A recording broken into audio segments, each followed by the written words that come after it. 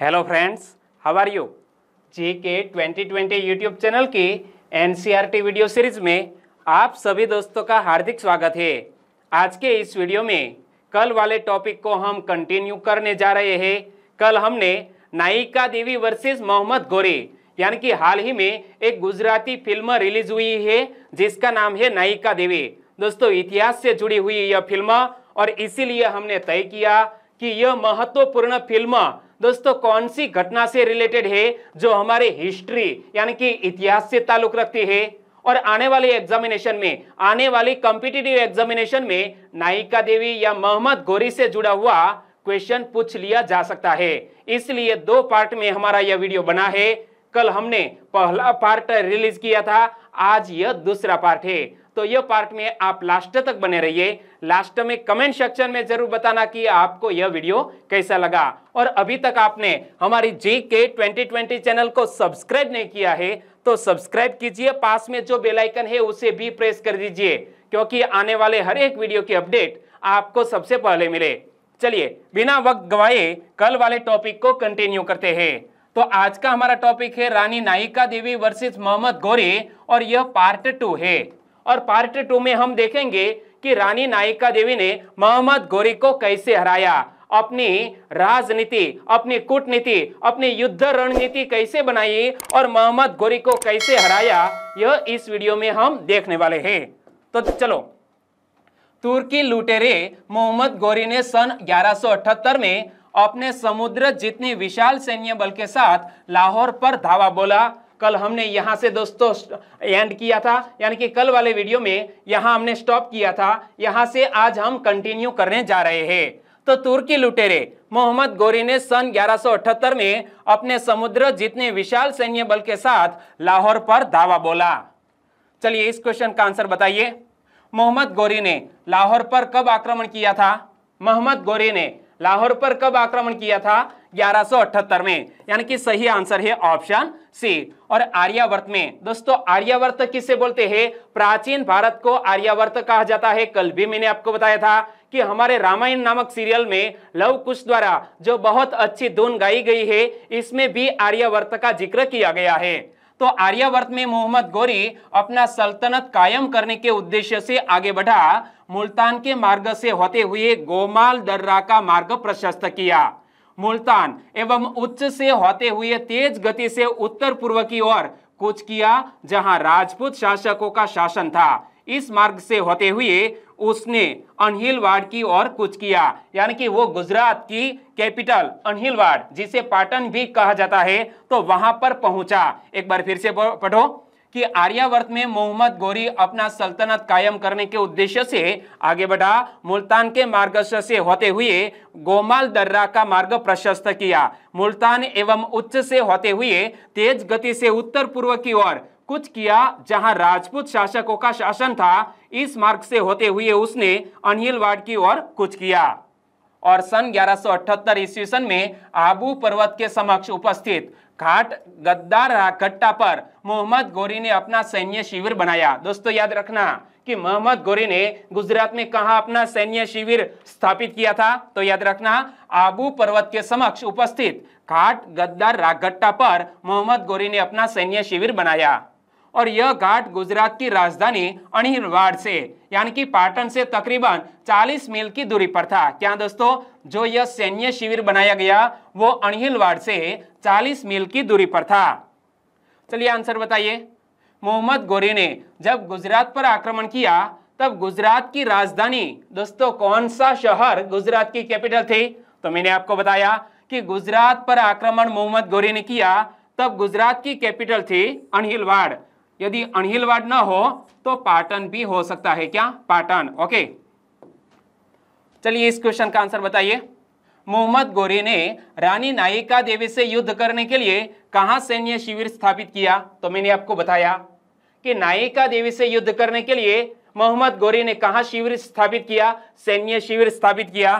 तो आबू पर्वत के समक्ष उपस्थित गद्दार रागट्टा पर दोस्तों, मोहम्मद गोरी ने अपना सैन्य शिविर स्थापित किया। आगे बात करें तो युद्ध से पूर्व गोरी ने अपने दूत के हाथों संदेश भिजवाया कि रानी और उसके बच्चे को मुझे सौंप कर तुम सभी अपनी अपनी महिलाओं, कन्याओं एवं अपनी धन दौलत सब मुझे दे दो तो मैं तुम्हें सब पर रहम कर जान बख्श दूँगा। दोस्तों, मोहम्मद गोरी ने नायिका देवी को एक संदेश भेजा भेजा अपने दूत के ज़रिए और संदेश में क्या कहा था कि वो अपनी अपनी जो सभी धन दौलत है अपनी महिला कन्याओं सभी को भेज दे तो मैं सबको जान बख्श दूँगा, यानी कि ज़िंदा छोड़ दूँगा। देखो, युद्ध से पूर्व गोरी ने अपने दूत के हाथों संदेश भिजवाया कि रानी और उसके बच्चे को मुझे सौंपकर तुम सभी अपनी अपनी महिलाओं, कन्याओं एवं अपनी धन दौलत सब मुझे दे दो तो मैं तुम सब पर रहम कर जान बख्श दूँगा। और मोहम्मद गोरी यह सोचकर भूल कर बैठा था कि उसका मुकाबला एक स्त्री से है। वह इस बात से अनभिज्ञ था कि राजमाता नायिका देवी उस देश की महारानी है, जहाँ महिषासुर मर्दिनी दुर्गा चंड व मुंड नामक राक्षसों की संहारकारिणी माँ काली जैसी असुर संहारकारिणी भी अवतरित होती है। उस देश की हर साधारण नारी के अंदर एक दुर्गा, काली रूपी स्वरूप भी होती है, जो राष्ट्र धर्म पर विपत्ति आने पर समय समय पर अवतार लेते हैं। दोस्तों, यहाँ भारतवर्ष भारतवर्ष की गाथा बताई गई है कि गोरी यह सोचकर भूल कर बैठा था कि उसका मुकाबला एक स्त्री से है। वह इस बात से अनभिज्ञ था कि राजमाता नायिका देवी उस देश की महारानी है, जहाँ महिषासुर, मर्दिनी, दुर्गा चंड मुंड नामक राक्षसों की संहारकारिणी माँ काली जैसी असुर संहारकारिणी भी अवतरित होती है। उस देश की हर साधारण नारी के अंदर एक दुर्गा, काली रूपी स्वरूप भी होती है, जो राष्ट्र धर्म पर विपत्ति आने के, आने पर समय समय पर अवतार लेती है। और राजमाता के सेनापति के हाथों गोरी का दूत पत्र सौंपकर उत्तर की प्रतीक्षा में महल के प्रवेश द्वार पर प्रतीक्षा करने लगा। क्या दोस्तों, राजमाता के सेनापति के हाथों मोहम्मद गोरी का दूत पत्र सौंपकर उत्तर की प्रतीक्षा में महल के प्रवेश द्वार पर प्रतीक्षा करने लगा। और राजमाता नायिका देवी ने अपने सेनापति कुंवर रामवीर के हाथों पत्र का उत्तर लिखकर भेजा कि जाओ, जाकर गोरी से कह दो, उनकी शर्तें मान ली है हमने। दोस्तों, यहाँ कूटनीति का सहारा लिया है किसने? हमारी नायिका देवी ने। क्या हुआ कि राजमाता के सेनापति के हाथों गोरी का दूत पत्र सौंपकर उत्तर की प्रतीक्षा में महल के प्रवेश द्वार पर प्रतीक्षा करने लगा। राजमाता नायिका देवी ने अपने सेनापति कुंवर राजवीर के हाथों पत्र का उत्तर लिखकर भेजा कि जाओ, जाकर गोरी से कह दो, उनकी शर्तें मान ली है हमने। चलिए आंसर बताइए। राजमाता नायिका देवी के सेनापति का नाम क्या था? राजमाता नायिका देवी के सेनापति का नाम क्या था? कुंवर रामवीर था क्या? कुंवर रामवीर। सही आंसर है ऑप्शन बी। चलिए इस क्वेश्चन का आंसर बताइए। राजमाता नायिका देवी ने मोहम्मद गोरे की और बाद में रिक्त स्थान दिया गया है। तो रिक्त स्थान पर क्या लगाने पर यह सेंटेंस सही होगा? कि राजमाता नायिका देवी ने मोहम्मद गोरे की, मोहम्मद गोरे की शर्तें मान ली। दोस्तों, यहाँ नायिका देवी ने छल कपट से, यानी कि अपनी कूटनीति का सहारा लेकर उनकी शर्तें परोक्ष रूप से यह यह कहा कि मान ली है, लेकिन दरअसल यह शर्तें मान ली नहीं थी। तो यहाँ सही आंसर बनेगा, मोहम्मद गोरी की शर्तें नहीं मानी थी। क्या? राजमाता नायिका देवी ने मोहम्मद गोरी की शर्तें नहीं मानी थी? सही आंसर है ऑप्शन सी। गलती कर बैठे ना? ओके, चलो आगे बात करें। तो राजमाता ने अत्यंत कुशलता पूर्वक एवं बुद्धिमत्ता के साथ निर्णय लिया। गोरी जैसे क्रूर आक्रमणकारी के साथ छल से ही युद्ध करना ही उचित होगा। दोस्तों, राजमाता नायिका देवी ने सोचा कि ऐसे मोहम्मद गोरी जैसे क्रूर आक्रमणकारी के साथ छल से ही युद्ध करना उचित होगा। और राजमाता ने आर्यवर्त की अस्मिता, अर्थात आर्यवर्त की माताओं एवं नाबालिग कन्याओं पर कोई आँच ना आए, इसीलिए यह छल किया था। क्या? एक बार फिर से बढ़ो कि राजमाता ने अत्यंत कुशलता पूर्वक एवं बुद्धिमत्ता के साथ निर्णय लिया, गोरी जैसे क्रूर आक्रमणकारी के साथ छल से युद्ध करना ही उचित होगा। राजमाता ने आर्यावर्त की अस्मिता, अर्थात आर्यावर्त की माताओं एवं नाबालिग कन्याओं पर कोई आँच न आए, इसीलिए यह छल किया। मोहम्मद गोरी की शर्तों को मानकर उससे भ्रम में रहने दिया। गोरी के पास जब यह खबर पहुँची कि उसकी शर्तें मान ली गई है तो उसने इस खबर को सच मान लिया। कि राजमाता ने बिना युद्ध किए हथियार डाल दिया और उसने इस आसान जीत का जश्न मनाने की तैयारियाँ भी शुरू कर दी। और इसी प्रतीक्षा में थी राजमाता नायिका देवी।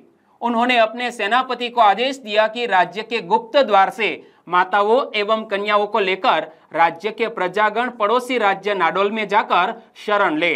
नाडोल के चौहान वंशीय महाराजा कलहण देव चौहान ने गुजरात से आए शरणार्थियों को शरण दी। एक बार फिर से पढ़ो। कि गौरी की शर्तों को मानकर उसे भ्रम में रहने दिया। गौरी के पास जब यह खबर पहुँची कि उसकी शर्तें मान ली गई है तो उसने इस खबर को सच मान लिया कि राजमाता ने बिना युद्ध किए हथियार डाल दिए। और उससे इस आसान जीत का जश्न मनाने की तैयारियाँ भी मोहम्मद गोरी ने शुरू कर दी। और इसी प्रतीक्षा में थी राजमाता नायिका देवी। उन्होंने अपने सेनापति को आदेश दिया कि राज्य के गुप्त द्वार से माताओं एवं कन्याओं को लेकर राज्य के प्रजागण पड़ोसी राज्य नाडोल में जाकर शरण ले। और नाडोल के चौहान वंशीय महाराजा कलहण देव चौहान ने गुजरात से आए शरणार्थियों को शरण दी। चलिए, अब इस क्वेश्चन का आंसर बताइए कि राजमाता नायिका देवी ने माताओं एवं कन्याओं की रक्षा के लिए उन्हें कहा भेज दिया? तो राजमाता नायिका देवी ने माताओं एवं कन्याओं की रक्षा के लिए उन्हें कहा भेज दिया? नाडोल भेज दिया। पड़ोसी राज्य नाडोल में शरण ली और प्रजा को सुरक्षित स्थल पर पहुँचाने के बाद राजमाता नायिका देवी ने अपने दोनों पुत्रों को पीठ पर बाँध लिया। क्या? राजमाता नायिका देवी ने प्रजा को सुरक्षित स्थल पर पहुँचा दिया। बाद में अपने दोनों पुत्रों को पीठ पर बाँध लिया और घोड़े पर सवार होकर गौरी की शिविर की ओर चल दी। यानी कि महारानी लक्ष्मीबाई की तरह। हमारी नायिका देवी अपने दोनों पुत्रों को पीठ पर बांधकर, घोड़े पर सवार होकर मोहम्मद गोरी की सैन्य शिविर की ओर चल पड़ी। और मेरुतुंग द्वारा लिखी गई प्रबंध चिंतामणि एवं अन्य इतिहासकारों ने भी इस बात की पुष्टि की है। दोस्तों, मोहम्मद गोरी और रानी नायिका देवी के बीच जो युद्ध हुआ, इसका ज़िक्र किस ग्रंथ में मिलता है? प्रबंध चिंतामणि नामक ग्रंथ में मिलता है। और यह ग्रंथ किसने लिखा है? मेरुतुंग द्वारा यह किताब लिखी गई है। और दोस्तों, यहाँ जब किताब की बात आई तो हमारी जी के ट्वेंटी चैनल पर ऐसे दो से तीन महत्वपूर्ण वीडियो है, जो पुराने ग्रंथ और यह ग्रंथ के लेखक कौन है, उनके बारे में वीडियो में हमने बनाए हैं। हमारे चैनल के प्लेलिस्ट में अवेलेबल है। हिस्ट्री में जाकर हिस्ट्री मेनू में जाकर आप यह वीडियो देख सकते हैं। चलिए आंसर बताइए इस क्वेश्चन का, कि राजमाता नायिका देवी और मोहम्मद गौरी के युद्ध की पुष्टि किस ग्रंथ से होती है? तो दोस्तों, राजमाता नायिका देवी और मोहम्मद गौरी के बीच के जो युद्ध हुआ, इसकी पुष्टि दोस्तों किस ग्रंथ से होती है? प्रबंध चिंतामणि से होती है। सही आंसर है ऑप्शन ए। और ऐसा भी क्वेश्चन पूछ लिया जा सकता है कि प्रबंध चिंतामणि ग्रंथ किसने लिखा है? प्रबंध चिंतामणि ग्रंथ किसने लिखा है? मेरुतुंग ने लिखा है। सही आंसर है ऑप्शन डी। आगे बात करें। राजमाता नायिका देवी की योजना अनुसार यह रणनीति बनाई गई थी कि राजमाता के निकलने से पूर्व ही मोहम्मद गोरी के सैन्य शिविर में 200 राजपूत योद्धा भेष बदलकर उपस्थित रहेंगे।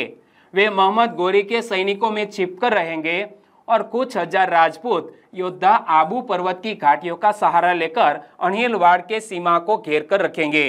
और राजमाता नायिका देवी की इस अप्रतिम रणनीति ने उन्हें आर्यावर्त की सबसे कुशल योद्धा बनाया। दोस्तों, महारानी नायिका देवी ने अपनी युद्ध रणनीति कैसे बनाई थी, वो हमें यहाँ बताया गया है। एक बार फिर से देखो कि राजमाता नायिका देवी की योजना अनुसार यह रणनीति बनाई गई थी कि राजमाता के निकलने से पूर्व ही मोहम्मद गोरी के सैन्य शिविर में 200 राजपूत योद्धा भेष बदलकर उपस्थित रहेंगे। वे मोहम्मद गोरी के सैनिकों में छिपकर रहेंगे और कुछ हज़ार राजपूत योद्धा आबू पर्वत की घाटियों का सहारा लेकर अणहिलवाड़ के सीमा को घेर कर रखेंगे। और राजमाता नायिका देवी का इस अप्रतिम रणनीति ने उन्हें आर्यावर्त की सबसे कुशल योद्धा भी बनाया। और राजमाता गोरी को भ्रम में रखना चाहती थी। इसीलिए उन्होंने अपने पच्चीस हज़ार सैनिकों को कई टुकड़ियों में बांट दिया। कुछ गोरी के सैन्य बल में मिल गए कुछ आबू पर्वत की घाटियों को घेर कर छिप गए और कुछ ने काया दरा की सीमा को घेर लिया। क्या दोस्तों, राजमाता नायिका देवी के पास पच्चीस हज़ार सैनिक थे, लेकिन उन्होंने क्या किया? पच्चीस हज़ार सैनिकों को विभिन्न टुकड़ियों में बांट दिया। क्या किया? देखो, राजमाता गोरी को भ्रम में रखना चाहती थी, इसीलिए उन्होंने अपने पच्चीस हज़ार सैनिकों को कई टुकड़ियों में बांट दिया। कुछ गोरी के सैन्य बल में मिल गए, कुछ आबू पर्वत की घाटियों में घेर कर आबू पर्वत की घाटियों को घेर कर छिप गए और कुछ ने कायादरा की सीमा को घेर लिया। और राजमाता घोड़े पर सवार होकर मोहम्मद गोरी की सैन्य शिविर की ओर चल पड़ी। उनसे 50 योजन की दूरी पर उनके पीछे उनके बाकी बचे सैन्य बल को लेकर सेनापति कुंवर रामवीर भी थे। क्या दोस्तों, राजमाता घोड़े पर सवार होकर मोहम्मद गोरी की सैन्य शिविर की ओर चल पड़ी। उनसे 50 योजन की दूरी पर उनके पीछे उनके बाकी बचे सैन्य बल को लेकर सेनापति कुंवर रामवीर थे। चलिए आंसर बताइए, मोहम्मद गोरी के संदर्भ में कौन सा कथन सही है? दोस्तों, यहाँ दो सेंटेंस दिए हैं और मोहम्मद गोरी के संदर्भ में नहीं, बल्कि राजमाता नायिका देवी के संदर्भ में। नायिका देवी के संदर्भ में कौन सा कथन सही है, वो हमें पता लगाना है, ओके? चलो पढ़ो पहला सेंटेंस राजमाता नायिका देवी ने मोहम्मद गोरी के साथ युद्ध करने के लिए अलग ही रणनीति बनाई थी। यह कथन बिल्कुल सही, एक अलग ही प्रकार की रणनीति बनाई थी। और कुंवर रामवीर नायिका देवी के कुशल सेनापति थे तो यह सेंटेंस भी बिल्कुल सही है। और हमें पूछा गया है कौन सा कथन सही है? तो एक और दो, दोनों कथन बिल्कुल सही तो आंसर बन जाता है ऑप्शन सी। और मोहम्मद गोरी अपने शिविर से बाहर निकलकर चालुक्य सोलंकी राजपूतों के सैन्य शिविर की ओर देखने लगा। उसने देखा कि कुछ घुड़सवार उसके सैन्य शिविर की ओर आ रहे हैं और नज़दीक आने पर उसने देखा कि एक खूबसूरत महिला अपने बच्चों को अपने साथ बांधकर उसकी ओर आ रही है। दोस्तों, मोहम्मद गोरी ने क्या देखा? देखो, मोहम्मद गोरी अपने शिविर से बाहर निकलकर चालुक्य सोलंकी राजपूतों के सैन्य शिविर की ओर देखने लगा। उसने देखा कि कुछ घुड़सवार उसके सैन्य शिविर की ओर आ रहे हैं और नज़दीक आने पर उसने देखा कि एक खूबसूरत महिला अपने बच्चों को अपने साथ बांधकर उसकी ओर आ रही है। मोहम्मद गोरी इस भूल में था कि राजमाता की पराजय हो चुकी है। वह मन ही मन हंस ही रहा था कि अचानक से रानी नायिका देवी के घोड़े रुक गए। इससे पहले कि वह कुछ समझ पाता उसके शिविर में मौजूद राजमाता के गुप्त सैनिकों ने हर हर महादेव का शंखनाद करते हुए आक्रमण कर दिया और हा हा कार मचा दिया। दोस्तों, रानी नायिका देवी नामक जो गुजराती फ़िल्म बनी है, इसमें यह सीन भी आता है, ऐसा होता है। हर हर महादेव करके दोस्तों सभी रानी नायिका देवी के सैनिक टूट पड़ते हैं। किस पर? मोहम्मद गोरी की सेना पर। देखो मोहम्मद गोरी इस भूल में था कि राजमाता की पराजय हो चुकी है। वह मन ही मन हंस ही रहा था कि अचानक से रानी नायिका देवी के घोड़े रुक गए। इससे पहले कि वह कुछ समझ पाता, उसके शिविर में मौजूद राजमाता के गुप्त सैनिकों ने हर हर महादेव का शंखनाद करते हुए आक्रमण कर दिया और हाहाकार मचा दिया।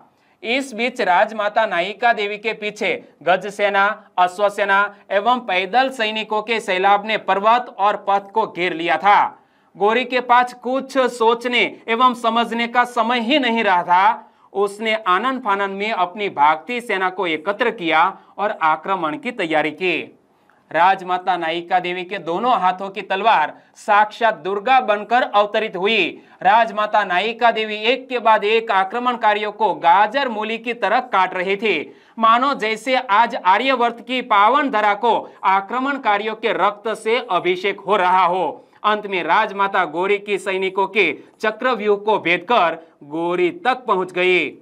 और दोस्तों, यह क्वेश्चन की बात करते हैं, लेकिन एक बार फाइटिंग फिर से देख लेते हैं। कि इस बीच राजमाता नायिका देवी के पीछे गज सेना, अश्व सेना एवं पैदल सैनिकों के सैलाब ने पर्वत और पथ को घेर लिया था। गोरी के पास कुछ सोचने एवं समझने का समय नहीं रहा। उसने आनंद फानंद में अपनी भागती सेना को एकत्र किया और आक्रमण की तैयारी की। राजमाता नायिका देवी के दोनों हाथों की तलवार साक्षात दुर्गा बनकर अवतरित हुई। राजमाता नायिका देवी एक के बाद एक आक्रमणकारियों को गाजर मूली की तरह काट रहे थे। मानो जैसे आज आर्यवर्त की पावन धरा को आक्रमणकारियों के रक्त से अभिषेक हो रहा हो। अंत में राजमाता गोरी की सैनिकों के चक्रव्यूह को भेदकर गोरी तक पहुँच गए। चलिए, आगे फाइटिंग की बात करेंगे, लेकिन इस क्वेश्चन का आंसर बताइए। राजमाता नायिका देवी के संदर्भ में कौन सा कथन सही है? दो सेंटेंस दिए हैं, दोनों को ध्यान से पढ़ो। वे दोनों हाथों से तलवार चलाना जानती थी। रानी नायिका देवी दोनों हाथों से तलवार चलाना जानती थी। जी हाँ नायिका देवी के सैनिकों के चक्रव्यूह को भेदकर मोहम्मद गोरी नायिका देवी तक पहुँच गया। यह कथन गलत है।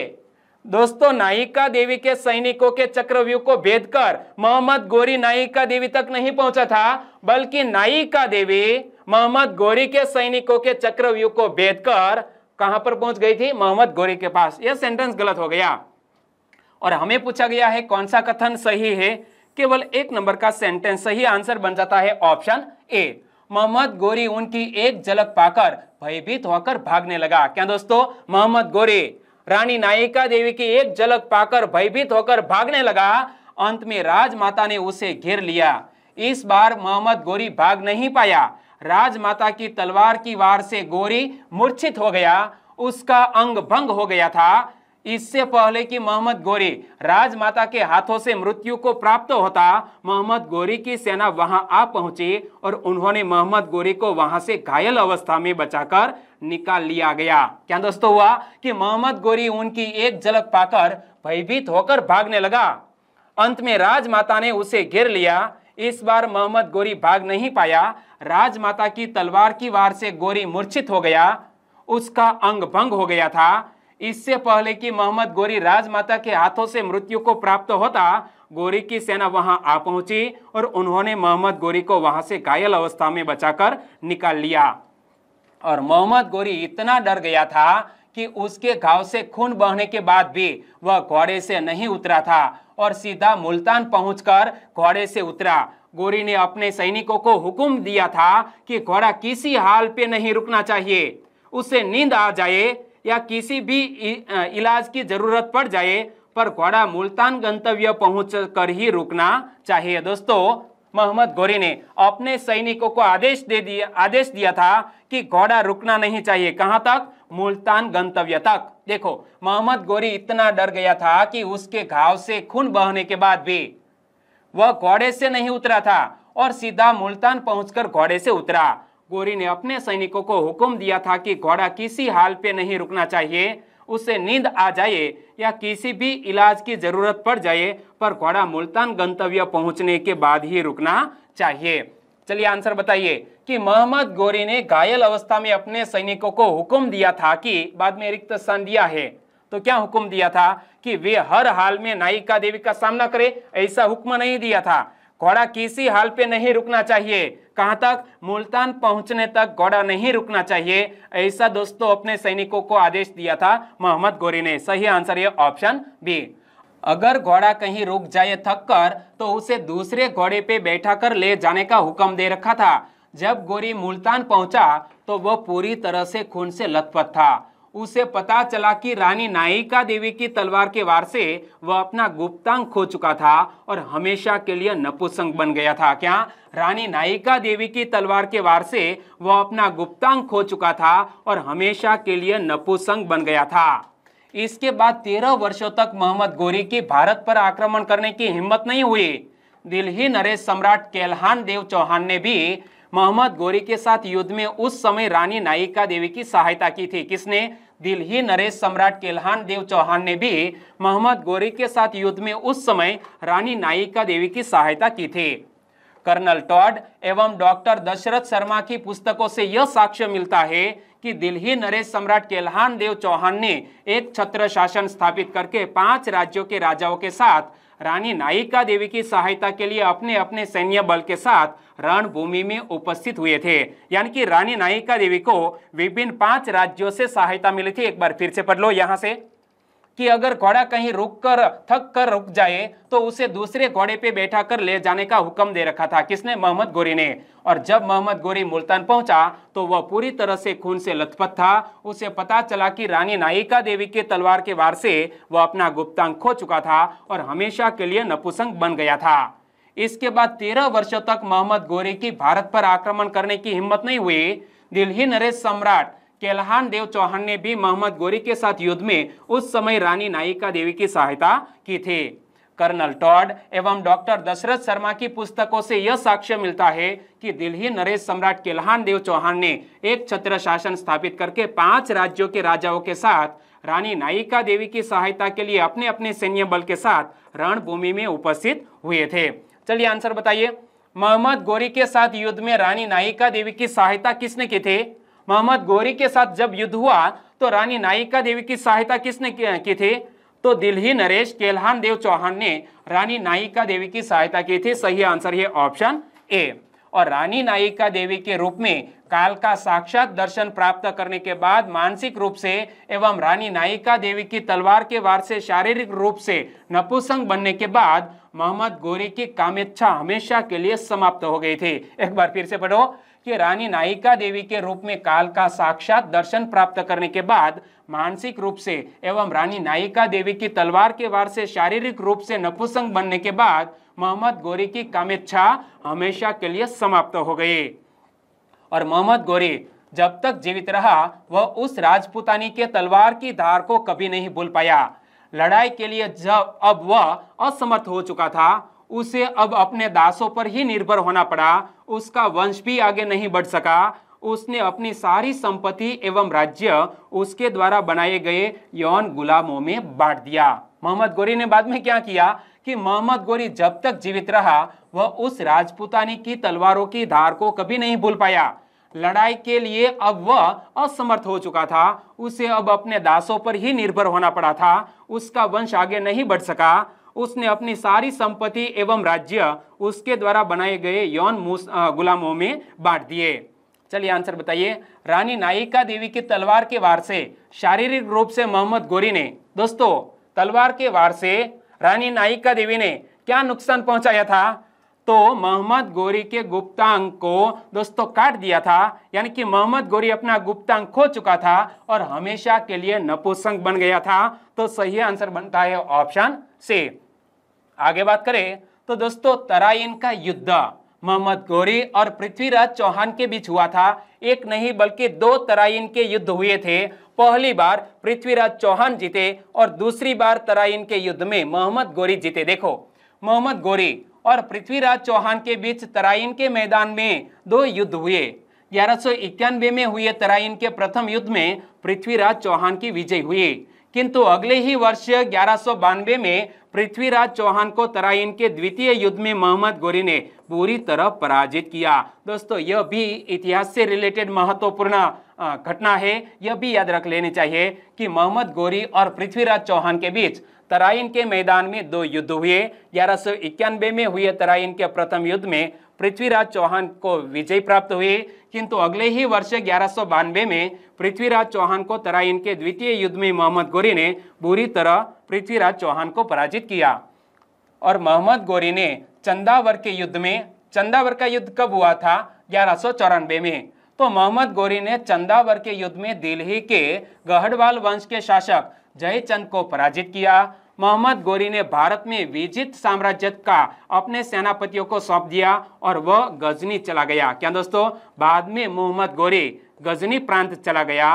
बाद में गोरी के गुलाम कुतुबुद्दीन ऐबक ने गुलाम राजवंश की स्थापना की थी। दोस्तों, यह भी आपने हिस्ट्री में कहीं पढ़ा होगा।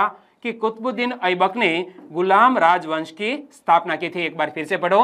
मोहम्मद गोरी ने चंदावर के युद्ध में दिल्ली के गढ़वाल वंश के शासक जयचंद को पराजित किया। मोहम्मद गोरी ने भारत में विजित साम्राज्य का अपने सेनापतियों को सौंप दिया और वह गजनी चला गया। बाद में मोहम्मद गोरी के गुलाम कुतुबुद्दीन ऐबक ने गुलाम राजवंश की स्थापना की। और दोस्तों, यह याद रखना कि सोहावा जेलम जो पाकिस्तान में स्थित है, सोहावा जेलम में क्या है? मोहम्मद गोरी का मकबरा पाकिस्तान के सोहावा जेलम में स्थित है। क्या? मोहम्मद गोरी का मकबरा इमेज में आप देख सकते हैं, पाकिस्तान के सोहावा जेलम में स्थित है। चलिए इस क्वेश्चन का आंसर बताइए।